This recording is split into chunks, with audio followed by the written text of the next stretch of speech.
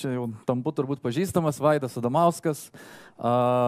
Pakalbėsiu šiandien labai, bandysiu konkrečiai, kaip sudaryti tą projekto planą. Ir aš labai džiaugiuosi, kad kalbu po, po kolegos, nes tie klausimai ir, ir jų, jų po, požiūris jojo. jo Tai yra labai puikus, nes aš tai dažniausiai turbūt kankinuosi, mes vykdytojai bandom pasakyti, kad oi, mes čia mokam tos projektus daryti džailiškai ir ne tik, kad be kainos, ir su kaina fiksuota, ir, ir iteracijomis tvarkingomis, bet klientai kažkaip labai to bijo. Tai kai atsiranda tokių klientų, kurie nebijo irgi to pačio nori, na aišku, tada klientai sako, nu vykdytojų tokių nėra. Tai čia žinot, vištos ir kiaušinio problema. Aš pats vedžiau kaip pernai mokymus, vienos įmonės neminėsiu lygiai taip pat. Kaip pras, dvi dienas buvo mokymuose įmonė, kuri užsakinėja į tai projektus, sako, kur tokių vykdytojų yra, kurie sugebėtų, bet tokiu būdu, bent poreikiu būdu bendrauti su, su, su užsakovu ir iš tikrųjų įgyvendinti. Jeigu čia kur buvo klausimai, jeigu mes galvosim, kad vieni kitus norim apgauti, nu, šitas procesas neveiks. Čia tikslas yra toks, kad vykdytojas nori padaryti projektą, kuo geriau įgyvendinti verslui poreikius dėl to, kad jis laimės antrą, trečią projektą ir užsakovas to pačio nori. Ne? Tai aš taip buvau ilgai vykdytojo, vykdytojo rolėje, bet vat, visai neseniai, kai išėjau iš kompanijos Atform dėl to, kad kūrėme savo startuolį lietuviškai Vorapei, tai yra naują mobilių mokėjimų sistemą, tapau irgi užsakovu. Ir šiandien iš tikrųjų pranešimą ir noriu papasakot nesuprastumėte, jog aš čia dabar Europėjų pradėsiu reklamuoti, nes iš, iš tikrųjų tai paimsiu paprastą projektą, tai yra mums reikėjo mobilios aplikacijos, kurią kūrė trečia šalis. Tai kaip aš, kaip užsakovas, sudariau tą projektą, kaip jį suprioritizavau ir kaip jį vertinome. Ir kaip minėjau pristatymę, aš labai norėsiu jūsų pagalbos, kad jūs tai padarytumėt. Ir tada pažiūrėsim, tai, kiek tai skiriasi nuo galutinio rezultato, kuris buvo darytas profesionalo. Ne? Nes mano tikslas šiandien parodyti, kad vertinti galima labai greitai ir netgi nebūnant tos ryties profesionalų, kad čia buvo klausimas apie apimtį, kaip galima greitai nuspręsti. Tai sakau, žiūrėkite į šitą truputėlį ne kaip į produktą, produktas yra kontekstas tam, kad žinoti, koks yra projektas, ne, ir žiūrėkite taip į kaip bet kokį kitą projektą. Be abejo, kai paleisim sistemą, tai naudokitės, nes nu, kas šiais laikais nori mokėti grinais arba kortelė, jeigu galėtumėt mobiliu greitai susimokėti, ne ir patogiai. Jo, kortelę gali pamest, mobilaus ne, mobilų visada turim, kortelį ne visada ir kortelį nematom likučių, mobilioje gali matyti, daug gerų dalykų. Svarbu, kad būtų patogu, kaip aš minėjau. Gerai, tai judam toliau. Kas dar apie mane čia daug logotipų, nenoriu daug šnekėti, visi žino, tai tiesiog pabrėšiu dar kartą, kad bandom kurti, tai yra kaip ir tinklaraštis ir dabar mokymų centras, tai kas nori daugiau žinoti apie Agile, galima rutinai pradėti mokytis ir atsakinėti į klausimus, kurie kyla. Tai judam tolin. Trys populiariausi šiai dienai Agile projektų valdymo metodikos. Kas nors galite įvardinti pavadinimus šitų paveiksliukų? Kas kairė viršuje? Skramas, teisingai, pažįstam. Apačioj kairiai Kambanas. Dešiniai. O, čia sunkesnis. Ekstremalus programavimas. Jeigu nueisit į xp.org, matysite šitą paveiksliuką. Čia jų procesas. Nesigilinsim į šitus procesus, pasižiūrėsim į pirmą dalį. Visi jie prasideda produkto darbų sąrašo, angliškai produkto backlogo. Jeigu pažiūrėsit, Kambano lenta yra pirmas tulpelis, Skramo pirmas tulpelis, tas XP lygiai tas vis pradžia. Ir tikrai mes labai daug kalbame apie tas iteracijas, kaip greitai jas vykdyti, kokiu roliu reikia. Ir aš po dviejų metų, vat, kai pradėjom Lietuvoje daug kalbėti apie tai, supratau, mes labai mažai kalbame, kaip gerai paruošti tą produkto darbų sąrašą, kad galėtume greitai judėti. Ne viena komanda greitai nejudės nei skramų, nei kambanų, nei per lentą nestumdys, jeigu jūs nežinosit šitų dalykų, nebūsit pasiruošę pakankamai kokybiškai. Ir vat, per tuos verslo poreikius, per supratimą, ką norim padaryti. Tai aš paskutiniu metu stengiuosi visus suaktyvinti, dėl pradedu vadinti agile projektų valdymas, kad žiūrėti taip, kaip, jūs, kaip suvaldyti projektą, tai yra biudžetą, kainą, laiką. Ir tas yra, kad turi būti rolė, kuri valdo va, šitas dalis. Jeigu tos rolės pas jūs nėra, a, bus problemų, nes jūsų IT ar gamybos komandos greitai judės, bet jos nežinos, ką kils klausimai, kils stabdžiai ir panašiai. Tai tą daro, jeigu terminais kalbant, produktų šeimininkas, čia produkt owner, skramo terminas, bet, bet, kokioj, bet kokiam agile metodė jis turi būti. Tai turi būti žmogus atsakingas surinkti tos reikalavimus, poreikius iš visų, kas tik jų turi. Ir iš to padaryti tą vat, produkto darbų sąrašą, apie kurį mes šiandien ir kalbėsim. Jeigu pas jūs yra krūva tokių žmonių, krūva tokių sąrašų ir neaišku, kuri komanda iš kurio sąrašo ką ima, turi didelę problemą. Tai vėl nekalbam šiandien apie pačią rolę, tai yra tikrai pakankamai sunki rolė ir dar labai mažai įmonių jie žiūri rimtai, nors jau bando judėti tais e, sprintais, iteracijomis ar kas ten bebūtų. Tai mes kalbėsim, kaip būti tuo žmogumi, kuris valdo tą produkto darbų sąrašą ir kaip jį greitai pabandyti sukurti. Tas žmogus gali būti tiek užsakovo pusėje, tiek vykdytojo pusėje, čia yra susitarimo reikalas, kas kurioje pusėje tą rolę atlieka, bet jinai tikrai turi būti atliekama. Na, įvadui, kad, kad turbūt yra žmonių, kurie nėra čia agile ekspertai, tai įvadui apie ką kalbėsim, tai va, tas produkto darbų sąrašas a, yra tiesiog toks sąrašas, kuriame išsirašome tas vat, poreikius, bet jie turi būti galutiniai, įdėgiami, įdėktini ir a, priduodami, priduotini klientui, kad klientas jau galėtų pradėti naudoti, kaip ir Edmundas sakė, įdėgi vieną sistemą, dalis vartotojų jau ją gali naudoti. Na pavyzdžiui, čia jau visiems žymus mano pavyzdys mokytojo saugaus eismo projektas. Tai yra, pavyzdžiui, šešios funkcijos. Kas nors pasakyti, kokia galėtų būti pirmoji funkcija, pavyzdžiui, ką iš šitos viso projekto galėtume padaryti, kad tai būtų baigtas ir galima atiduoti mo, mokytojai, nu, vai, vaikus mokinti saugaus eismo. Kas mažiausiai, pavyzdžiui, vieną pavyzdį. Jo, gatvė ir kelias. Gali būti jau, tada galėsim papasakoti, gatvė būna eismas į dvi pusės ir, ir, ir kažkur jisai eina mieste. Ne? Kas antras galėtų būti? Kelių žymėjimas, jo, čia vad galim dėrėtis, ar jis į pirmą plių, ar jis atskiras. Bet galbūt tai bus trečias, galbūt galėtų būti automobilis ir panašiai. Tai yra tokiais vat, projektas kaldom baigtiniais vienetais, ne, kadangi jį norim priduoti. Kas iš to, kad mes tai pasidarom, kad nedarom agilės, stengiamės nedaryti nieko, kad tik dėl to, kad tai yra faina ar tai yra gera taisyklė. Kas iš to? Iš to mes jeigu pirmą dalį bandom tą kelią planavom padaryti per 20, kas čia bebūtų, dienų, valandų, e, savaičių, e, pabaigiam per 30, ką mes žinom? Na tikriausiai viso projekto per tą 180 irgi nepabaigsime, ne? jau iš karto rizika. Pradėjus vienai devintadaliui projekto, mes jau matom, kad jis arba vėluos, nu, arba jeigu būtų greičiau, per 10 padarytume, kad jis galbūt greičiau. Tai mes kaip projektų vadovai vėl, bet kurioje pusėje užsakovo ar vykdytojo matom realią situaciją. Ir galim daryti sprendimus, ar pridėti žmonių, ar persitarti apimti ir panašiai. Dažniausiai tose tradiciniuose viso, viską susitarim ir viską darom projektuose, ta informacija, kad mes vėluojam, ateina antram, trečiam projektų trečdalį į pabaigą. Ir tada labai sunku kažką pakeisti. Čia jūs tai gaunat labai labai anksti. Iš kliento pusės, kas labai svarbu, jis lengvai tada gali keisti prioritetus. Jeigu mes turim kelią į foną, tai mes ar pridėti automobilį, ar policijos mašiną, ar lengvąjį automobilį, ar sunkvežimį, mums jokio skirtumo kokia tvarka. Nuo to, koks yra mokytojas poreikis, tai galim padaryti. Jeigu mokytas sako, pas mus reikia, tai turėsiu greitai saugaus eismo pamoką, nors policijos automobilis buvo penktų prioritetų, mes iškeliam, padarom ir jau jinai tas saugaus eismo pamoką apie specialiasias transporto priemonės kelyje jau gali naudoti, nors projektas vis dar vyksto, vystomas. Vėl tradiciškai mes to negalėtume padaryti. Na ir Paskutinė dalis, kuri labai patinka užsakovams, bet praktiškai šiai dienai neįmanoma valstybinėme sektorėje, tai yra funkcijų iškeitimas. Ne? Mes sakom, norim pešiųjų perėjos, jos nebuvom numatę projekte. Ką darom? Pasimatavom, pešiųjų perėją padaryti irgi mums užtruks 40 kažko. Sakom, išimam šeštą funkciją, ten šuniukas su krūmu, jeigu kas atsimenat buvo, ir įdedam septintą. Projekto deadline'as nepasikeitė, apimti šitą kaina nepasikeitė, kadangi išimam paskutinio prioriteto funkciją, įdedam tai, ko tikrai reikėjo. Projektas baigėsi laikus, su biudžetu, turim ir pešiųjų perėję. Na, neturim šuniuko su krūmu. Galbūt be to galima mokyti vaikus saugusiais. Tai va tokiu labai paprastu, banaliu pavyzdžiu per penkias minutės aš norėjau tą įvedą padaryti, tiems, kas mo, žino šitus metodus giliau, tai turbūt šitą supranta, tie, kas netikrai siūlau pasigilinti, nes be abejo, čia aš pristačiau per tris minutės, bet tai pradėti gerai valdyti ir suskaldyti ypač didžiuosius projektus yra nu, tikrai nelengvas darbas. Ten šuniuką su ant kelio ir, ir automobilius lengva paskaldyti, ne? Kai turit sudėtingą IT sistemą, suskaldyti ją į tokius baigtinius vienetus, kad juos galima atiduoti klientui pasidaro sudėtingiau bet galima. Jau ir bankai tai daro. Tai jeigu jau bankai tai daro, ar finansinės institucijos, tai jūsų visos kitos turbūt įmonės gali daryti taip pat.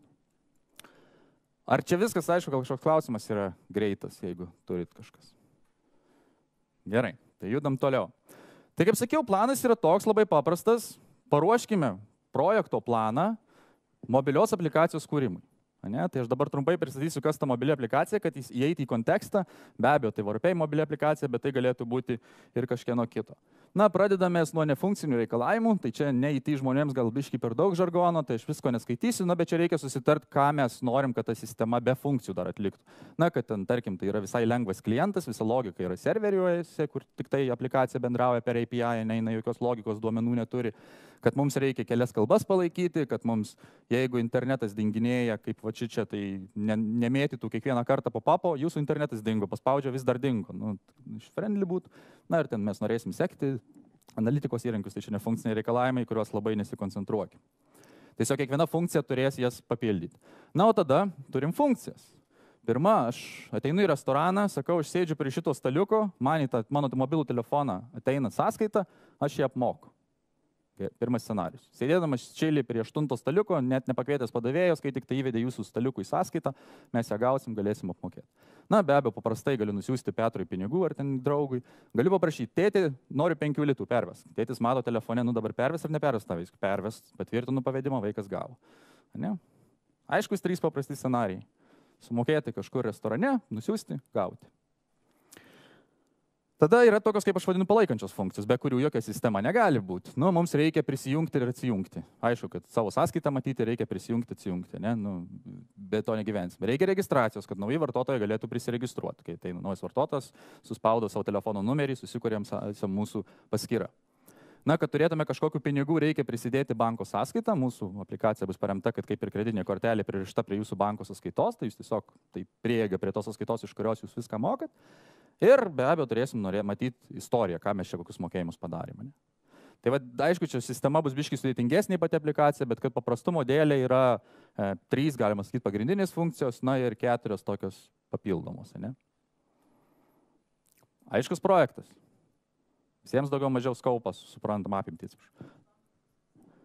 Tai mes kalbam apie aplikaciją. Aplikacija bus tokia kvaila, jinai sakys, suformuok man ten užklausą, aš ją kai gausiu, kviesiu redirektą ir tada, ką parodžiau, tą atvaizduoju. Viskas. Aš biškai dar screenshotai bus, tai paaiškinsiu.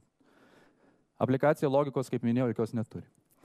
Na tai ką, mums reikia produkto sąrašą. Tai aš jau į tokį preliminarių šitą perrašiau į produkto sąrašą, aš jums parodysiu lentoje, mes naudosim įrankį. Aš įrankio nelabai noriu elektroninio ir dar internetas jisai, bet jeigu čia rašyčiau viską rankomis, tai jūs turbūt neįžiūrėtumėte, tai vien dėl to. Tada paprašysiu jums padėti suprioritizuoti jį. Tai yra susakyti, kokia funkcija yra pirma svarbiausia, kokia mažiau svarbi. Na ir trečia, įvertinsime. Tai va aš labai tikiu, kad mes spėsim vis dar per likusias 28 minutės netgi ir įvertinti šitą visą projektą, kiek jisai mums kainuos. Vertinsim palyginamuoju būdu, aš jums pasakysiu, kiek aš įvertinau pirmą funkciją, o jūs tada turėsite žiūrėti, ar jinai didesnė ar mažesnė. Ir tam naudoti tik Fibonacci skaičius. Na, ten matysit, bus parašyti. Fibonacci skaičiai yra pirmas plus antras lygių trečias. Tai 1, 2, 3, 5, 8, 13, daugiau nereikės. Šitai 5, kitų skaičių negalima naudoti. Viskas, jūs žinodamis vienos apimtį ir koks jisai dydis, sakysite, jinai didesnė, mažesnė, du kartus, tris kartus. Ne. Aiškiai užduotis. Na, bandom. Aš rizikuoju. Pirmą kartą gyvenime darau live demo dar su, su žmonėmis. Tai a, paprastai pasidarai PowerPoint ir esi laimingas, kad viskas veiks. Galima čiūčiut padidinti, negalima, per daug. Na, va, didžiausia, ką galiu išlaužti, aš atsiprašau, atsisėsiu. Taip, tai čia yra mano tos idėjos priminsiu, kas jos yra ir tada čia, vat, jau kai suprioritizuosim, jas jungsim į čia. Aš pervedžiau pir, pačią pirmą, tai techninė užduotis, tas bendravimas su serveriu, nefunkciniai reikalavimai, kad jūs čia nesigilintume, įvertinau, kad tai užtruks mums penkis padaryti. Penkis kažko, ne? Kas toliau yra? Tai reikia tavo čekinas, atsimint, kalbėjom. Tada apmokėjimas sąskaitos, ką kalbėjom, siuntimas pinigų, prašyti pinigų, registracija, prisijungimas, pridėti banko sąskaitą plus čia navigacija ir peržiūrėti istoriją. Tai kokia yra svarbiausia funkcija iš visų šitų, kurią reiktų daryti pirmą? Ir galėtume atiduoti man klientui ir aš jau būčiau laimingas, nes kažką galiu iš jos gauti. Registruojasi. Puiku. Kodėl registracijos reikia? Aš jau galiu duoti, jau klientai registruotis, jums parodysiu gražų langą, labą dieną, ačiū, kad prisiregistravot, laukite kitų funkcijų, jau turim klientus. Puiku. Kas toliau? Kaip? Prisijungimas Prisijungimas arba banko sąskaitos. Ar aš galėsiu banko sąskaitą prisidėti neprisijungęs? Nu, turbūt nelabai, nes į kažką ją reikia prijungti. Tai turbūt jau tada, kai registracija, ne, tai kad galėtų jau su tuo, kuo užsiregistravau, su telefono numeriu ir slaptažodžiu jau prisijungti. Gerai, toliau. Sąskaita banko. Nu, žiūrėkit, kaip viskas logiška ir paprasta. Yra prieštaraujančių? Ne, kol kas gerai. Kas toliau? Apmokėti. Kaip minėjau, apmokėti susijęs su čia. Tai aš pirmiau turiu pasakyti, kur esu, kad čia ta kasos įranga galėtų atsiųsti mums tą čekį. Tai tada turėtų, jeigu apmokėti, tai pasakau, kad aš esu čili prie šešto staliuko sėdžiu, čili kasa atsiunčia, kadangi įmušė į šeštą staliuką, užsakymą atsiunčia į mane ir aš jį apmoku. Toliau. Istorija arba prašyti. Va šitoje vietoje jau prasideda diskusija ir čia nuo verslo priklausys. Ar mes norim klientams pateikti istoriją, nes jie tokie be istorijos labai bus pikti, nes nematys, kiek jau apmokėjo, nori įduoti pinigų siuntimą. Ne? Tai, nu, turbūt, jeigu nenorim labai pykdyti klientų, galim šitą duoti, nors bizniui mažesnė nauda, negu siūsti pinigus. Oi, tai aš jau toliau darau. Kurį šitų? Siūsti ar prašyti? Tai jūs klientas, jūs naudosite, čia masiniam naudojimui sistema. Na gerai, kad neužtrukti, sako, nu kodėl tu čia taip žiūrėkit, pykstant manęs. Siūsti, prašyti, ne? Tai dažniau siūsit pinigus, negu vaikai prašys pinigų. Na gal. Viskas. Antrą užduotį padarėm. Susipažinom ir prioritizavom. Viskas matot kaip labai lengva ir paprasta, ne? Linksmoji dalis liko įvertinimas. Pabandom. Pirmą dalį aš įvertinau, kaip minėjau, penkiais. Sakiau, kad yra penki, mato, čia skaičiuką galiu paspausti, šito nespausiu, nesakykit 1, 2, 3, 5, 8, 13, daugiau nebus. Tai jeigu sakau, kad bendravimas su serveriu užtrunka 5, kiek mums galėtų užtrukti registravimas, suprogramuoti registravimas, vai, atsiprašau. Na, aš pasakysiu teisybę, kadangi registravimas ten irgi su tam tikros sudėtybė ir šitą aš jums įvertinsiu, tai va aš pasakysiu, kad čia yra trys, nes nu, su nefunkciniu lyginti labai yra sunku. Tarkim, kad registravimas, ką man reikia padaryti, o aš jums neparodžiau, ką reikia padaryti. Reikia sukurti tokį langą, kuriame telefono numeris ir slaptažodis, tada man duos paklausimą, ar aš sutinku ar nesutinku su nu, terms of conditions, kaip čia, sąlygomis. Tada, jeigu noriu, galiu tas sąlygas pasiskaityti ir sutikti. Ir tada jau, kai gausiu patvirtinimą, dar man prašys susikurti PIN kodą, kuriuo tvirtinsiu visus mokėjimus. Tai už tai čia yra truputėlį daugiau negu gali atrodyti, tai išvertinau trimis. Tai šitą praleidžiam, šitas įvertinta, dabar jau jūs. Prisijungimas. Tai yra vienas langas įvesti telefoną arba e-mailą ir slaptažodį ir prisijungti. Pusė. Kas nors dirbė su OAuth autentifikacija, 2.0 saugia ir panašiai. Gal biški daugiau? Nežinau, klaus, nu, nu, nulis pusės negaliu rašyti. Vieną ar du, tris, du, trys, du. Gerai, du daugumas sako, gerai. Tada pridėti banko sąskaitą. Pažiūrim, ką reikia padaryti. Vienu žodžiu, atsidarom toks langas. Kaip minėjau, logika serveryje suformuos viską, ko jums reikia. Jūs pasirinksit, sakysit, tiesiog paspausim mygtuką pridėti. Čia nėra tos dar dalies. Jūs busite jau vėl čia ne, ne šitos reikalas noredirektinti, grįšit ir kai grįšit, vėl banko klausti užklausimą, rodyti šitas Koks skirtumas? O pirmą užduotį kas darė aukščiausią ar lengviau? Tie patys, kurie darė pirmą. Vienodi. Nesvarbu. Pirmą darė, jeigu irgi studentai, tai irgi kiek šitas, daugiau ar mažiau darbo yra padaryti šitą lyginant su a, pirmą. Jeigu jūs registravimą, tai yra prisijungimą padarėt per du, su studentais ar su profesionalais, nesvarbu, čia yra daugiau ar mažiau? Daugiau ar mažiau? Vieni daugiau, kiti mažiau. Nu, su banku turbūt iš karto yra. Kiek? Penki. Kas daugiau, kas mažiau? Nu, penki, gerai. Dauguma, aš čia. Tai aštuonis, gerai, penki, tarkim. Tinka. Toliau, čia jūs vertinat, ne aš, aš kaip sakiau, paskui pažiūrėsim, ką profesionalai pasakė. Esu čia, Tai reiškia, ką mums reikia padaryti. Reikia bus nupiešti tokį langą, jį suprogramuoti, kuris turi didelę knopkę įsiregistruok. Jie paspaudus atsidaro skaitytuvas. Čia trečia šalis, trečia biblioteka įduoti skaitytuvas QR kodo, kuris nuskenuoju kodą. Tas kodas už, turės užkoduotą skaičiuką, nusiųs į serverį ir pagal tai mes žinosim, kur tu esi. Hardro cafe, devintas staliukas. Ir kai tu sakai, jeigu nori, tikrai esu čia, pasilikti tą informaciją įsivaizduoja čia, kad tu gali arba iš, iš, išeiti, arba lauki atskaitos. Tai yra tokie keturi langai. Tai lyginant su ankstesniais, jeigu į banką ten 5, čia 2, tai kiek čia? 8, 13 kažkas, kažkas 5, tai, tai galima 8 viduriuką pasirinkam, gerai? Maždaug. Gerai, toliau judam. Apmoku sąskaitą. Tai tiesiog, kai apmoku, va čia yra screenshotas, gaunu sąskaitą, kurioje rašo iš, iš eilės eilutės ateis for, iš serverio, kas tai joje yra man reikia įvesti PIN kodą, sakyti sumokėti ir vėl serveris viskas tvarkys, jeigu sakys, kad teisingai apmokėta, parodys žinutę, kad viskas sėkmingai. 2, 5, gal. Penki tai jūs sakot, kad tai yra tas pats, kas daryti su bankais pajungimus. Čia serveris viską darys, tik tai serveriai, mūsų serveriai reikia pasakyti. Tai du ar trys? Trys. Čia ne tas pats, ten su, su banku jau integracija pridėjimas, čia į mūsų sistemą truputėlį turėtų būti paprasčiau. Iš aplikacijos į serverius ir viskas.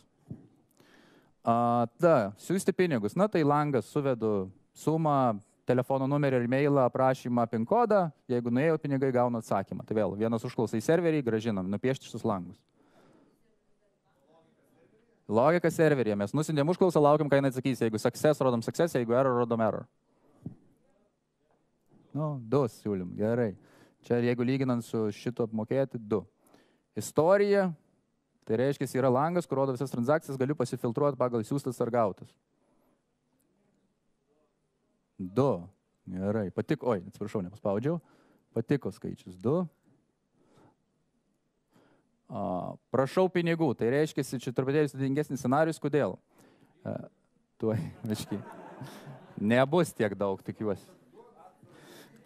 Įvendu sumą K ir išsiunčiu sąskaitą, tiesiog apmokėjimo metu iš karto apmokama arba ne. Čia jinai turi atsivaizduoti abiejose klientuose ir siuntėjui ir gavėjui skirtingai ir siuntėjas ją gali, tai yra gavėjas ją gali apmokėti, o ir jeigu apmoka, tada abu mato sėkmės, kad jinai buvo apmokėta, pinigai įkrito.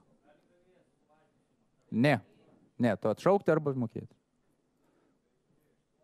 8, 5, 5 gal. Nu, 8, gerai, rašom 8. Turbūt biškis nėra čia tiek sudėtinga, bet tarkim. Viskas, padarim.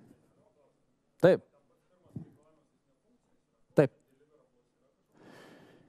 Jo, labai geras klausimas. Ne, ir aš iš tikrųjų projektą, jeigu aš atvirai iš to nebuvo išskirta, projektą tai buvo įtraukta, mes susitarim, kad darydami registraciją padarysim ir šitą, tai registracijos susitarim, kad darant registraciją reikės padaryti visus nefunkcinius reikalavimus, kad kai atiduosit registraciją, jie turi būti daryti. Tai mes pirmą delivery blogausim čia ir už tai jisai buvo 8. Bet tada su registracija negali lyginti kitų, nes ten pridėjai netechninių užduočių, kurios kitos jau jos kaip ir padarytos. Ne? Tai aš, kad jums būtų paprasčiau išskyriau. Bet va, teisingas labai klausimas. Gerai, turim ką, žiūrėkit, sumą suskaičiavau, 38 mes įvertinom. Na, grįžtam į PowerPoint, jeigu pavyks. Pavyko. Profesionalai vertino tai 35 šito projekto sumą. Tai pasiplokit savo. Aš galiu lažintis, jie užtruko daug ilgiau negu, kiek čia mes? 18 minučių čia man liko, rašo kiek ar? Liko. A ne? Jo, nu aišku, aš su šimtu žmonių siūlyčiau nevertinti projekto, bet, bet jie profesionalai, jie daro mobilias aplikacijas, jie tikrai praleido ilgiau negu 10 minučių. Tai kas čia įvyko? Apgavau visus. Gali būti, kaip čia tas direktyvus coachingas. Gali būti. O gal yra ir racionalesnių priežasčių? Iš tikrųjų, niek, nu, šiek tiek gal aš čia padirektyvinu, nežinau, labai sunku, kai žinai atsakymą jo nepasakyti, bet lygiai taip pat dariau, aš turėjau, kai dirbau Švedijoje dar, mums projektą darė iš Lankoje nutolusi komanda. Aš turėjau 5,5 žmonių, jau kartą pasako apie šitą istoriją, kur nu, 5,5 resurso, taip vadinosi, projekte. Tai. Nuskridęs per dvi dienas nepilnas turėjau su, įvertinti su jais projektą, kur jie domeino, tai sritis, kurioje mes dirbam, visiškai nežinojo, jie yra nauji žmonės, tiesiog surinkti kaip outsourcing developeriai. Keturių mėnesių maždaug projektas, penki su pusė žmogaus, tai gali paskaičiuoti apimti to projektą. Ir mes per dvi dienas susivokėm, kas yra sritis ir įvertinom ir iš tikrųjų va, tai funkcijom susidėliojom ir tikrai pagal juos ir darėm. Tai galim sakyti, kad čia mums labai pasisekė, galim sakyti, kad tai veikia realybėje. Bet aš laukiu atsakymo iš salės, kodėl tai suveikė, nu arba mat, maždaug suveikė.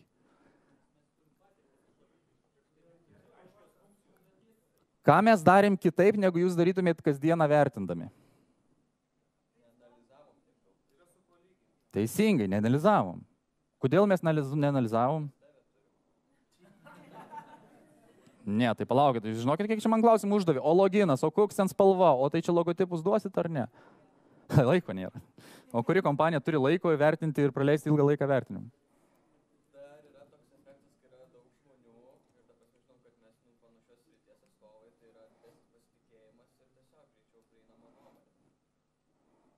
Gal, šiaip kuo daugiau žmonių sunkiau prieinama nuomai, bet jo.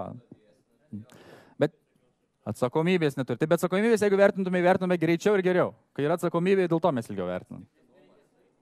Nereikės daryti. Atsitiktinumas. Užvadinimas lengvas. Ne, tai gerai, aš kaip klientas patikėjau specifikaciją. Ką mes darėm kitaip? Kaip jūs darytumėt, ko, kokiu klausimu klaustų jūsų programuotojai pamatę bet kurį ten tą screenshot?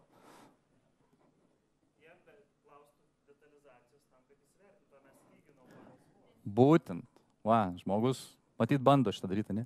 Mes nesigilinom, ką, kodėl ten detalių, mes palyginom. Šitą, jeigu yra tokia su visom tom pačiom detalėm, kuriuom bus, ir Vaidas pasakė, kad yra trys, viskas. Mes turim su kuo lyginti. Žmonės yra labai puikūs lyginime. Kiek čia yra centimetrų? Mm, apie. O čia kiek yra? Nu, o jeigu kiek kartų šitas yra mažiau už šitą? Dvigubai. Jūs netgi dabar, va, tokiam paprastam pavyzdį, šitą atsakymą jūsų smegenys, kad čia yra maždaug dvigubai daugiau, tai čia dvigubai mažiau negu čia, padarys per pusę sekundės, o kai paklausit, kiek centimetrų, čia 98, 86, o dar jeigu tai darot su inžinieriais. Aš jums neleidau naudoti netgi kitų skaičių, jūs kaip matėte, aš jums neleidau naudoti tik tai, kur šitai mūsų, šitus skaičius, Fibonacci vadinamus. Čia dar 0,5, nesuprantu, kodėl aš tam įdėta. Nes jums aš galiu lažintis, kad koks, jūs apie pusę valandos turėsite diskusiją, kad čia tikrai ne 8 ir ne 3 ir, ir ne 5, tai turbūt kažkur 6. Mums darbai reikia to 6 to įsivesti, nes nu 6 yra labai svarbu. O čia tikrai ne 13 ir ne 8, kažkur per vidurį tai dar 10 įsivedam. Ir inžinieriai tik taip, nes kai jūs klausit, jie klaus detalių, detalių, detalių, jūs užtruksit labai daug laiko. Jeigu jūs jiems neleidžiat lysti į detalės, sakot, nu tai žiūrėk, šita sistema tokia, šita, vat, kuo jinai panaši, didesnė, mažesnė, žmonės žymiai, žymiai greičiau vertina. Ir tai veiks su, su visais žmonėmis, tik tai tam, kas facilituos tą susirinkimą, skrameistras, ten produkt owneris, jūs turėsit labai juos laikyti nuo toli nuo, nuo detalių, nes jie visą laiką norės. Ko nereikia daryti, pirmą užduotį, va, kaip sakė dabar, kiek čia kainuos pinigų, ne? Čia, jeigu linkant toliau klausimą. Turim, grįžtam, jeigu prie prezentacijos, turim 35, kur nežinom, kas tai yra. Kiek valandų, pinigų, Ir nesužinosim tol, kol du variantai. Arba mes neturim istorijos, tai yra šitą komandą jau darė panašius projektus, lyginamoji vertinu, ir mes žinom, kad jinai trejetą padaro šitą komandą per savaitę. Ne? Jeigu full time dirba šitą komandą, tie patys žmonės padaro per trejetą per savaitę. Tai tada mes labai lengvai iš to galime suskaičiuoti, čia bus apie 11 ne savaičių, 11-12 savaičių šitas projektas. Kaip? Ne, tai Va, tada mes žinom, jeigu mes nieko nežinom, va, tada reikės pirmą dalį įsivertinti, va, kaip šitas dvi funkcijas jau reiktų analizuoti detaliai, kad jie sutiktų, kad čia, pavyzdžiui, yra tos ta viena savaitė. Tai va, kaip minėjau tą pavyzdį savo Šrilankoje, būtent tą ir mes darėme. Mes pirmą funkciją vertinom beveik pusę dienos. Tai yra išsiaiškinom, kas yra, iki detalių išsibaidžiam schemą, susidėliojom, nes, nu, kitaip žmonės nepasakys, kad čia užtruks jiems kaip komandai padaryti per ten dvi savaitės ar tris savaitės. Tai tą išsiaiškinom tikrai užtrukom ilgai ir detalių, kad turėtų kažkokią atspirties tašką, nes mes neturėjom jokios istorijos. Ir aš grįžau, tada atsimenu į viešbutį ir galvoju, turiu rytoj daugiau truputėlį kaip pusę dienos ir tada lėktuvas, ką man daryti, kaip man turėti visą projekto planą. Ir tada galvoju, nu, palauk, taigi vertinsim palyginamoji, viskas vaidai bus gerai. Nu, nuėjom vakarė darbiškai, ten aišku, pasišnekėt po darbo, tai irgi motivacija pakilo. Kitą dieną atėjom, aišku, sakau, viskas, dabar į detalės nelendam, jūs įvertinot, kad čia yra tiek laiko, pavadinam tai penketu, visus kitus vertinam palyginamojo būdu.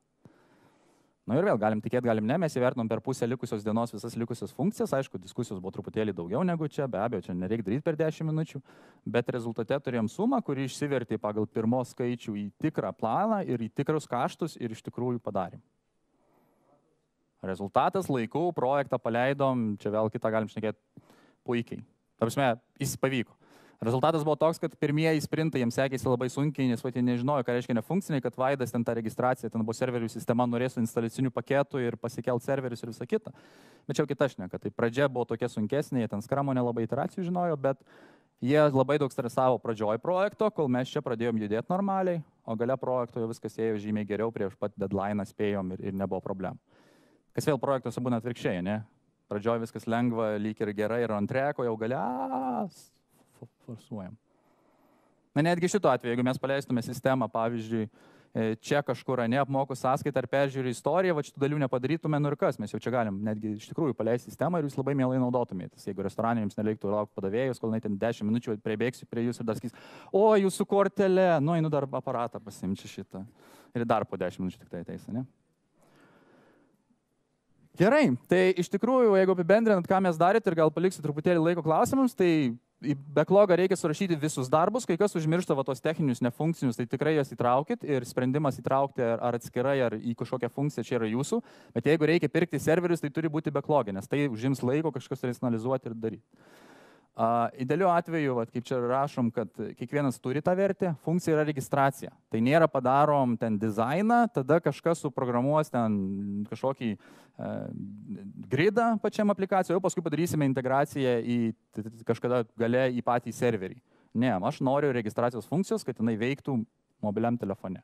Tai va čia yra labai svarbu, nes ir netgi tokios įmonės dabar visą IT stengsis jūs dėlioti tokiu lygiu. Tai mes dizaineris viską nupieš, tada ten mūsų UX dizaineris integruos, o paskui jau backendą padarys. Ir tada gal galia pradės veikti. Prioritizavome, stengiamės pagal tą biznio vertę poreikį, įvertinome kartu su komanda, ačiū, buvo puikiai komanda, nes jeigu tada labai veikia, Šitą blacklogą reikia ir laikysti, ir laikome viešą tai organizacijai, tai tiems, kas kurs, nes jis gali keistis, ne? Netgi dabar galiu pasakyti, kad mes jau pradėjom keisti, pagalvojom, o taigi atėjus restoraną prisiregistruoti nereikia, tu sąskaitą gali matyti ir be registracijos. Kodėl pirmą langą rodyti ten tą registruokis, paskui jungtis, labai gazina žmonės. Atsidarysi pirmą langą, sakys labas, vaidai, labas kažkas, kadangi jau tu unikalus ateis tau tą sąskaitą, tik tai, kai jau norėsi apmokėti, tik tada sakysim, nu dabar jau būk mielas susiregistruok ir prisidėk sąskaitą.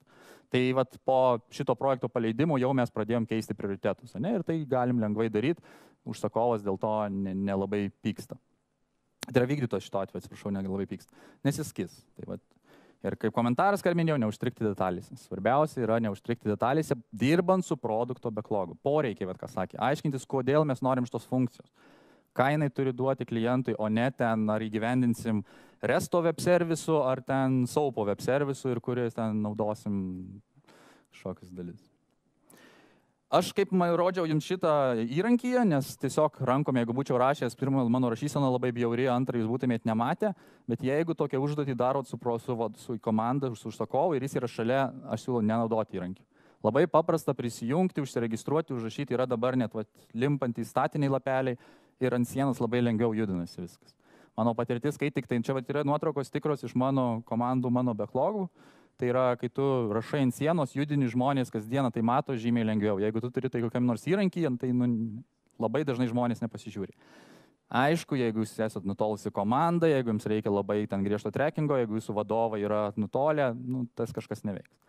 Bet mano atveju mano vadovas sėdėjo Danijai, aš dubliavau. Aš visą laiką turėjau sistemą, kurią rodydavau tik tai vadovui ir su juo diskutuodavau, ten, nu, šėrindamas ekraną, o komanda matė to jau dalyko rezultatą šitoje lentoje ir mes diskutuodavom. Žymiai turi geresnę diskusiją, kai prieini prie sienos ir kažką su komanda apie tai diskutuoji. Negu kad, nu dabar šeši programuotojai, teikit prie mano kompiuterio, pažiūrėsim į ekraną. Ai, ne, projektorių atsinešam, nu tada penkias minutės nešam projektorių, kol jį surandam dar ir panašiai. Nu, suprantat patys.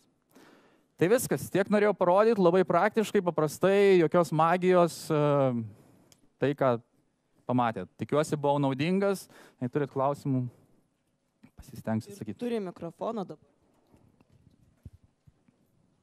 Klausimų? Ar Vaidas viską taip aiškiai papasakojo? Ar... Sakykite, kažkas nesąmonė, taip neveiks realiam gyvenime, nebūna taip. Kągi, tada iš karto Vaidui teikiam dovaną. O, yra klausimas. Yra klausimas. Yra.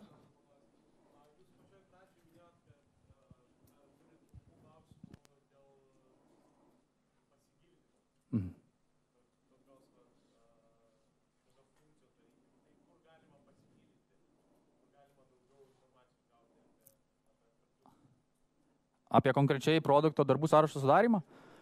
Tai yra internetas pirmas yra pilnas, yra knygos, o jeigu nu, jau norim, tai mes vat, vienas iš tų mokymų, kur Alžal Coach ir padėjom, būtent reikalavimų valdymas, gilio projektas, detaliai einam, kodėl yra user story geri, kaip tą vertinti, kodėl tie user story, story pointai iš tikrųjų veikia, vat, kai nekalbam apie valandas. Dar tai mes čia negalvom, kiek valandų užtruks. Vėl žymiai žmonės greičiau padaro įvertinimą, jeigu jie negalvoja, kiek valandų užtruks. Kažkoks abstraktus dydis. Jūs pasakykit, kad čia vertinam valandom, kad ir palyginamuoju būdu, užtruksit vėl ilgiau. Tai va, aš pats turiu kursą, ne kur vedu mokymus, bet šiaip galima ir knygose, ir, ir, ir yra product backlog, jeigu paieškosi, tai... Bet geras klausimas. Stengiamės kuo daugiau sudėti. Keli blogos straipsniai yra būtent apie šitą mano, tai irgi Agile Coach LT rasit keli straipsnius apie tai. O jeigu norit, visada prašykit klausimą, padiskutuosim. Taip. Vaidai turiu klausimą. Taip. O kaip yra su visom detalėm? Kai reikali, nu, detalės vis tiek tu nu, niekur nuo jų nepabėgsi. Taip. Kur tu jas dedi? Tai detalių reikia tada, kai pradėsim įgyvendinti. Jeigu aš norėjau šitą projektą įvedinti su trim vykdytojais, tai man tos detalės, kad aš būčiau įsigilinęs, nu matot, irgi aš jau screenshotus bent jau turėjau, tai jau kažkiek detalių nėra. Bet jeigu aš ten būčiau gilinęs į detalės, kodėlius ir kaip, tai aš, pavyzdžiui, tris šitus a, vertinau tris vendorius, tiekėjus. Tai man toje vietoje nesvarbu, kai mes pradėjom dirbti po kiekvieną tą funkciją, registraciją, mes tada jau darbo metu sėdom ir aš buvau labai dažnai online su, tai, su tuo vykdytoju ir mes diskutavom detalės. Prieš pradėdami jį daryti jau konkrečiai sprinti, mes išsidiskutavom viską iki detalių. Bet produkto darbų sąrašo sudarimo metu detalės neįdomu. Aš turiu poreikį, klientas turi prisiregistruoti su tam tikrais nefunkciniais reikalavimais. Viskas. Dabar ten ar bus oranžinis mygtukas, ar jis bus toks ar toks, apimties tai iš tikrųjų nepakeičia. Didžia, da, didelė, da, didelė atveju. Tai detalės aiškinamės jau sprint metu. Čia, vat, jeigu labai toli, turbūt bus perėti per visą prezentaciją, nors šitų skaidrių nedaug. Už tai mes iš... O, o, va, Čia mes kalbam apie backlogą, o kai jau čia bus sprinto planavimo susirinkimas ir visas sprintas, tada jau gilinsimės ir išsiaiškinsim detalę iki smulkmenų, iki ten pikselio. Tai palaukit gal po, po, po.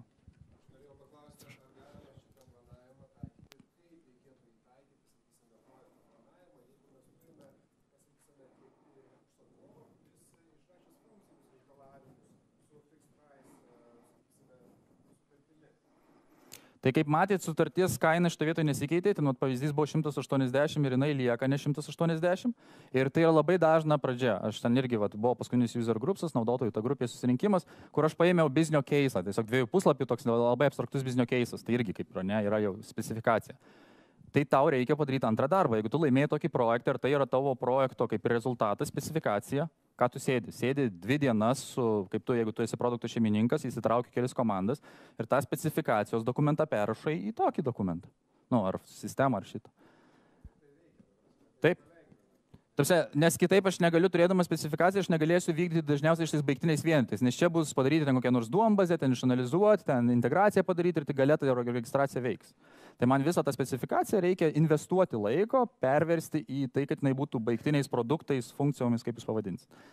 Bet dažniausiai vėl, jeigu kaina yra, tai viskas, mes jį perverčiam, įvertinam ir tada žinom atsakymą. Po dviejų dienų galim vadovui pasakyti, mums atrodo, kad mes nespėsim iš tą projektą. Arba mums atrodo, kad čia gerą maržą užsidėjom, 5 procentų liks mums, padarysim ir dar su vėliu.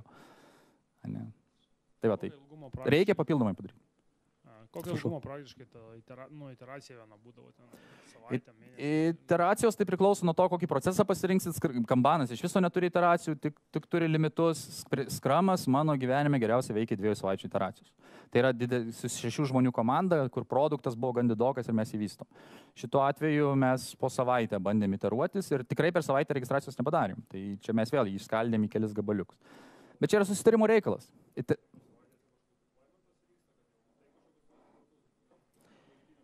Žiūrėkit, nemaišom dviejų dalykų. Iteracija yra tiesiog laiko apsibrėžimas. Dabar per tą laiką aš padaryti, noriu visą laiką padaryti bent taip susiskaldyti funkcijas, kad bent dvi kokias padaryčiau per iteraciją.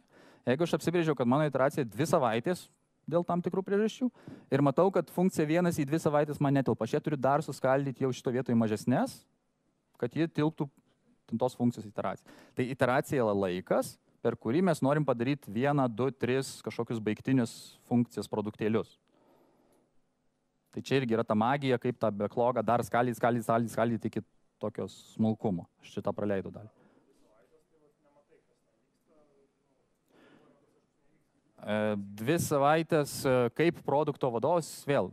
Gali matyti, čia yra atvejai tikrai nesakoma, kad tik po dviejų savaičių gali releasint. Gali matyti, gali nematyti, reikia žiūrėti situaciją ir kas tau tuo metu patogu. Čia Gali būti ir taip, ir taip. Čia... O, nebuvo, nebuvo klausimų pilna. Paskutiniai tada du klausimai ir O. bus pertraukėlė. Nuo kiek iki kiek e, backlog itemų realiam projektui naudojate? Tai čia vėl nėra jokios taisyklės, aš tik tai turiu tokią savo taisyklę, kad daugiau negu 50 Iš įrašų. patirties. Iš patirties. Jo, iš patirties. Bet daugiau negu ką esate 50 procentų įrašų backlogė aš nesugebu valdyti, aš vis tiek juos ten scrollinsiu ir neatsiminsiu. 50.